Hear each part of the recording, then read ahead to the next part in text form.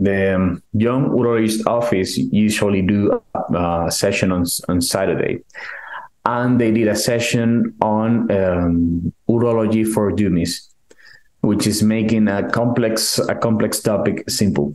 And in this session was uh, lectures about uh, infertility, about uh, management of metabolic syndromes in stone disease, and also castration resistant prostate cancer.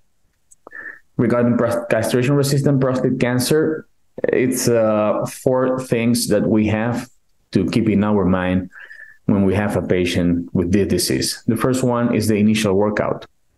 The, the initial workout, of course, is a diagnosis that will be made by progression. And progression can be defined with PSA and with imaging. So, this is a patient that has a hormone sensitive prostate cancer that we know since almost 100 years that prostate cancer is a tumor that depends on androgens. So it's a tumor that spread despite being castrated, and this spread can be known and can be found thanks to PSA rising and thanks to progression in imaging. This is the first one. The second thing that we have to have in our mind is what we should do when we have a castration resistant prostate cancer patient.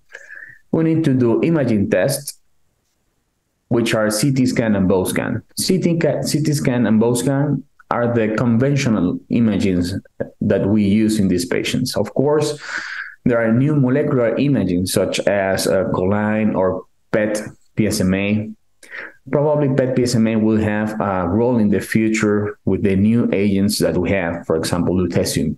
But by the time, and what is in the guidelines, is that this patient should undergo CT scan and bone scan.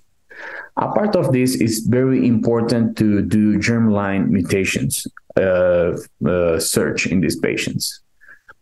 Germline mutations and somatic mutations. It's important because we are living a new era of targeted agents in castration resistant prostate cancer. For example, BRCA mutations or PTEN mutations. So it's important to uh, have in our mind that this patient has to undergo genomic testing. The third thing is to, of course, uh, give this patient a treatment. And uh, the treatment of castration resistant prostate cancer has become very, I wouldn't say complex, but it's different for what we had 10 years ago. 10 years ago or 15 years ago was very easy because the only treatment that we had in metastatic hormone sensitive prostate cancer was ADT. But nowadays we don't have ADT only. What we know from metastatic hormone sensitive prostate cancer is that ADT alone should not be the standard care of care. So we will have ADT plus chemo, ADT plus ARTA, ADT plus chemo and ARTA, ADTs per radiotherapy.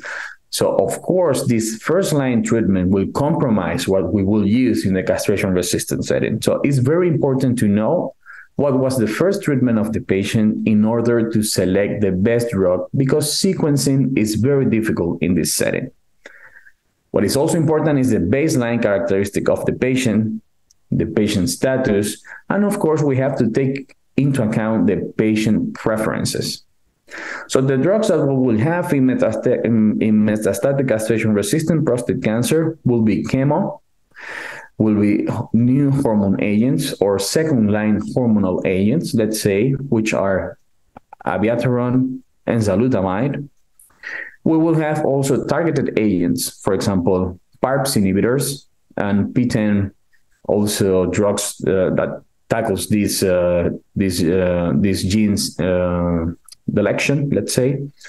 We will have also lutetium, pembrolizumab, and radium. The thing is that nowadays we probably miss a tool that help us to select which is the best treatment for each patient.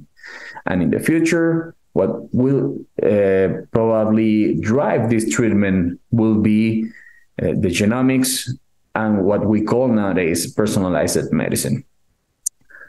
After we have our patient under any treatment, the patient needs a follow up, of course, and follow up should be relied in PSA and imaging. Although you don't have a PSA rising, these patients need imaging. They need CT scan and they need bone scan in follow-up periods that might be probably three months or six months. And why is this? Because you can have a, a progression in imaging without having a progression in PSA. Because castration-resistant prostate cancer usually have these molecular changes that makes the tumor grow without any PSA expression.